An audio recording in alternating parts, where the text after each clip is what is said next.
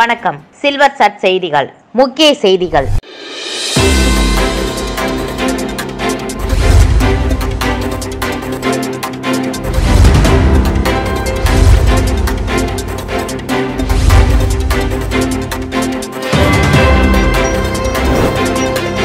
வணக்கம். சில்வர் சட் செய்திகள் முக்கிய செய்திகள். உச்சநீதிமன்ற தீர்ப்பு அனைத்து யூனியன் பிரதேசத்திற்கும் பொருந்தாது. ஆளுநர் தமிழிசை பேட்டி.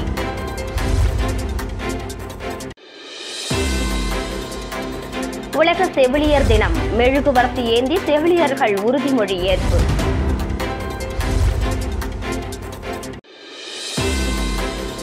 எடப்பாடி பழனிசாமி பிறந்த நாள். தங்கத்தேர் இழுத்து அதிமுகவினர் சிறப்பு வழிபாடு. இனி விரிவான செய்திகள். டெல்லி அரசு தொடர்பாக உச்சநீதிமன்ற தீர்ப்பு அனைத்து யூனியன் பிரதேசத்திற்கும் பொருந்தாது என்று துணைநிலை ஆளுநர் தமிழிசை சவுந்தரராஜன் கருத்து தெரிவித்துள்ளார். நாங்கள் வலியுறுத்தி வந்த உச்சநீதிமன்ற தீர்ப்பாக கூறியிருப்பது மகிழ்ச்சி அளிக்கின்றது என்று முதல்வர் ரங்கசாமி பேட்டி அளித்துள்ளார். புதுச்சேரி கம்பன் கழகத்தின் ஐம்பத்து ஆறாம் ஆண்டு கம்பன் விழா இன்று கம்பன் கலையரங்கில் துவங்கியது. கம்பன் விழாவை துணைநிலை ஆளுநர் தமிழிசை சவுந்தரராஜன் துவக்கி வைத்தார். நிகழ்ச்சியில் முதலமைச்சர் ரங்கசாமி சென்னை உயர்நீதிமன்ற நீதி அரசர் ஜஸ்டின் அரங்க மகாதேவன் சபாநாயகர் செல்வம் அமைச்சர்கள் சட்டமன்ற உறுப்பினர்கள் தமிழறிஞர்கள் கம்பன் கழக நிர்வாகிகள் கலந்து கொண்டனர். விழாவை துவக்கி வைத்த பின்னர் செய்தியாளர்களிடம் பேசிய துணைநிலை ஆளுநர் தமிழிசை சவுந்தரராஜன் ஜிப்மர் மருத்துவமனையில் உயர் பரு- மருத்துவ பரிசோதனைக்கு கட்டணம் என்ற அறிவிப்பு நடைமுறை நடைமுறைக்கு வரவில்லை. இன்னும் கட்டணம் வாங்கப்படவே இல்லை. ஆனால் சில கட்சிகள் இல்லாத போருக்கு போய் இல்லாத வெற்றியை கண்டதாக சொல்கிறார்கள். அதை பற்றி எனக்கு கவலை தெரிவித்த அவரிடம் மக்களால் தேர்ந்தெடுக்கப்பட்டவர்களுக்கு தான் அதிகாரம் என உச்சநீதிமன்றம் அளித்த தீர்ப்பு குறித்து செய்தியாளர்கள் எழுப்பிய கேள்விக்கு அது டெல்லி அரசுக்கு வழிமுறை சொல்லியிருக்கிறார்கள். தலைநகர் என்பதால் அதற்கென்று கருத்து உள்ளது. ஒவ்வொரு யூனியன் பிரதேசமும் வெவ்வேறு தான். ஒவ்வொருவருக்கும் ஒரு ஒரு விதம். எல்லாமே மக்களுக்கானதுதான்.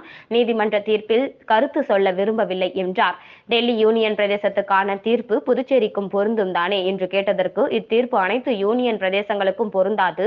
ஆளுநர்கள் தான் அதிகாரம் படைத்தவர்கள் என்று நாங்கள் சொல்வதில்லை. முக்கியமாக நான் சொல்வதில்லை. அன்பால் தான் ஆள்கிறோம் என்று தெரிவித்தார். மேலும் இந்த தீர்ப்பு குறித்து முதல்வர் ரங்கசாமியிடம் கேட்டதற்கு மக்களால் தேர்வான அரசுக்கு தான் அதிகாரம் என்ற உச்சநீதிமன்ற தீர்ப்பு மகிழ்ச்சி தருகிறது. இதைத்தான் நாங்கள் வலியுறுத்தி வந்தோம் என்று அவரிடம் இத்தீர்ப்பு புதுச்சேரிக்கு பொருந்துமா? என்பதற்கு தீர்ப்பை படித்து பார்த்தால்தான் முழுமையாக தெரியும் என்று மகிழ்ச்சியுடன் தெரிவித்தார்.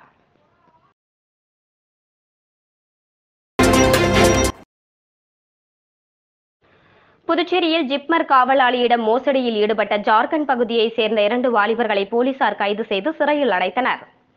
புதுச்சேரி சண்முகாபுரம் பகுதியைச் சேர்ந்தவர் கிருஷ்ணா சர்மா. ஜிப்மரில் காவலாளியான இவருக்கு கடந்த ஆண்டு அவரது செல்போன் எண்ணிற்கு வந்த ஆன்லைன் லிங்க் மூலமாக ஒரு செயலியை பதிவிறக்கம் செய்து பயன்படுத்தியுள்ளார்.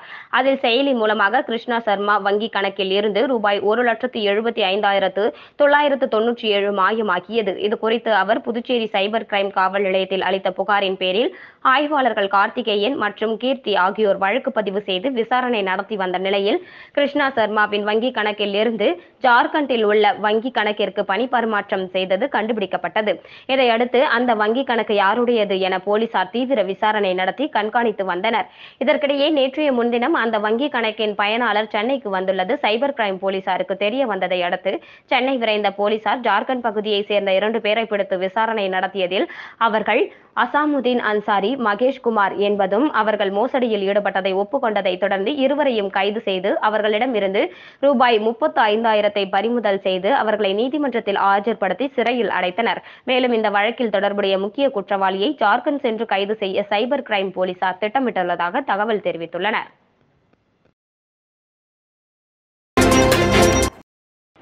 புதுவையில் இன்று செவிலியர் தினம் கொண்டாடப்பட்டது. இங்கிலாந்தை சேர்ந்த பிளாரன்ஸ் நைட்டிங்கல் செவிலியர் பணிக்காக தன்னை அர்ப்பணித்துக் கொண்டார். பல்வேறு சேவைகளை செய்ய அவரது பிறந்த நாளான மே பனிரெண்டாம் தேதி உலகம் முழுவதும் செவிலியர் தினமாக கொண்டாடப்பட்டு வருகிறது. அந்த வகையில் புதுச்சேரி இந்திரா காந்தி அரசு பொது மருத்துவமனை வளாகத்தில் இன்று உலக செவிலியர் தின விழா கொண்டாடப்பட்டது. இதில் செவிலியர் கண்காணிப்பாளர் தலைமை செவிலியர்கள் செவிலியர்கள் கலந்து கொண்டு மெழுகுவர்த்தி ஏந்தி பிளாரன்ஸ் நைட்டிங்கல் உறுதிமொழி ஏற்றுக்கொண்டனர் ம். ம்.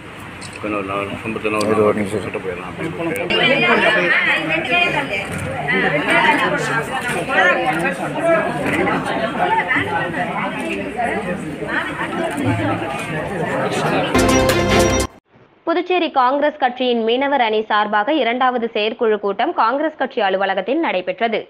புதுவை வைஷால் வீதியில் உள்ள காங்கிரஸ் கட்சி தலைமை அலுவலகத்தில் மீனவர் அணி சார்பாக இரண்டாவது மாநில செயற்குழு கூட்டம் நடைபெற்றது. இதில் அகில இந்திய மீனவர் அணி தலைவர் ஆம்ஸ்ட்ராங் பெர்னாண்டஸ் தலைமை தாங்கி தொடங்கி வைத்தார். அகில இந்திய மீனவர் அணி செயற்குழு உறுப்பினர் காங்கேயன் முன்னிலை வகித்தார். மேலும் இதில் மீனவர் அணி மாநில தலைவர் பாஸ்கர் உட்பட மீனவர் அணி சேர்ந்த நிர்வாகிகள் கலந்து கொண்டனர். இந்த செயற்குழு கூட்டத்தில் முன்னாள் அமைச்சர் நாராயணசாமி காங்கிரஸ் கட்சி மாநில தலைவர் சுப்பிரமணியன் பாராளுமன்ற உறுப்பினர் வைத்தியலிங்கம் காங்கிரஸ் கட்சி சட்டமன்ற தலைவர் வைத்தியநாதன் முன்னாள் அமைச்சர்கள் கந்தசாமி ஷாஜகான் முன்னாள் சட்டமன்ற உறுப்பினர் அனந்தராமன் உட்பட பல மாநில நிர்வாகிகள் பலர் கலந்து கொண்டனர். மேலும் இக்கூட்டத்தில் மீனவர் சமுதாயத்தில் காங்கிரஸ் கட்சி மேலும் வளர்வது குறித்து மேலும் மத்திய அரசுக்கு எதிராக மீனவர் சமுதாயத்தை திரட்டி பல்வேறு கோரிக்கைகளை வலியுறுத்தி போராட்டம் நடத்துவது என பல்வேறு தீர்மானங்கள் நிறைவேற்றப்பட்டது.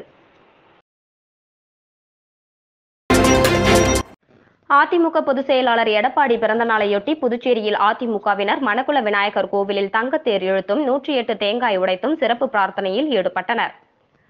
அதிமுக பொதுச் செயலாளர் எடப்பாடியின் அறுபத்தி ஒன்பதாவது பிறந்த நாள் விழாவை புதுச்சேரி அதிமுகவினர் கொண்டாடி வருகின்றனர். அந்த வகையில் புதுச்சேரி அதிமுக மாநில செயலாளர் அன்பழகன் தலைமையில் ஏராளமான அதிமுகவினர் மணக்குள விநாயகர் கோவிலில் தங்கத்தேர் இழுத்து சிறப்பு வழிபாட்டில் ஈடுபட்டனர். தொடர்ந்து நூற்றி எட்டு தேங்காய் உடைத்து சிறப்பு வழிபாட்டில் ஈடுபட்டனர். அதனைத் தொடர்ந்து உப்பளத்தில் உள்ள அதிமுக தலைமை கழகத்தில் மாநில செயலாளர் அன்பழகன் தலைமையில் அதிமுகவினர் பட்டாசு வெடித்தும் எம்ஜிஆர் சிலைக்கு மாலை அணிவித்தும் கேக் வெட்டியும் கொண்டாடினர். மேலும் ஆட்டோ ஓட்டுநர்கள் மற்றும் ஏழை எளிய மக்களுக்கு நலத்திட்ட உதவிகளை வழங்கினர். தொடர்ந்து இருதய ஆண்டவர் தேவாலயத்தில் சிறப்பு பிரார்த்தனையும் முல்லா வீதியில் உள்ள மசூதியில் சிறப்பு தொழுகையும் நடைபெற்றது. மீண்டும் முக்கிய செய்திகள். உச்சநீதிமன்ற தீர்ப்பு அனைத்து யூனியன் பிரதேசத்திற்கும் பொருந்தாது. ஆளுநர் தமிழிசை பேட்டி.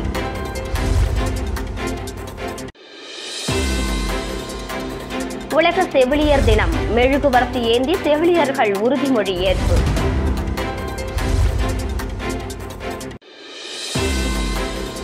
எடப்பாடி பழனிசாமி பிறந்த நாள். தங்கத்தேர் இழுத்து அதிமுகவினர் சிறப்பு வழிபாடு. இத்துடன் இன்றைய செய்திகள் நிறைவு பெறுகின்றன. வணக்கம்.